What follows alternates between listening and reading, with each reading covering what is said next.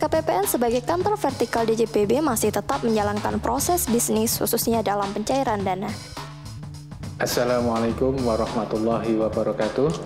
Salam sejahtera bagi kita semua.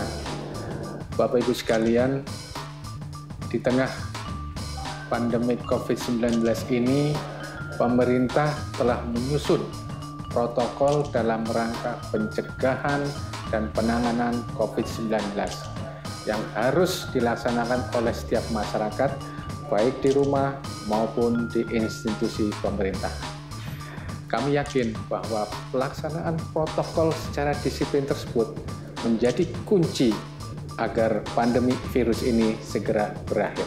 KPPN Kolaka senantiasa mendorong dan berupaya untuk melaksanakan protokol COVID-19 ini baik di lingkungan kantor maupun di luar kantor. Dan dalam pencegahan COVID-19 ini, KPPN Kolaka melakukan beberapa protokol penanganan bencana COVID dengan aktivitas-aktivitas berikut ini.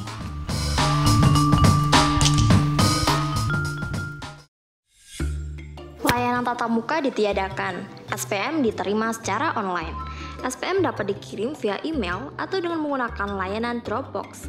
Dropbox disediakan untuk penerimaan dokumen dan koran dari eksternal. Cuci tangan sebelum masuk kantor.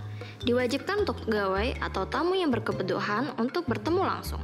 Wastafel telah disediakan di depan dan di belakang kantor.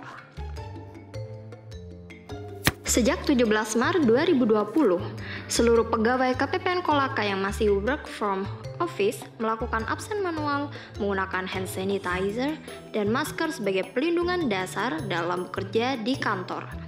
Hand sanitizer dan masker juga disediakan untuk tamu. Di sisi lain, 76% pegawai bekerja dari rumah. Koordinasi terkait pekerjaan dilakukan melalui media online.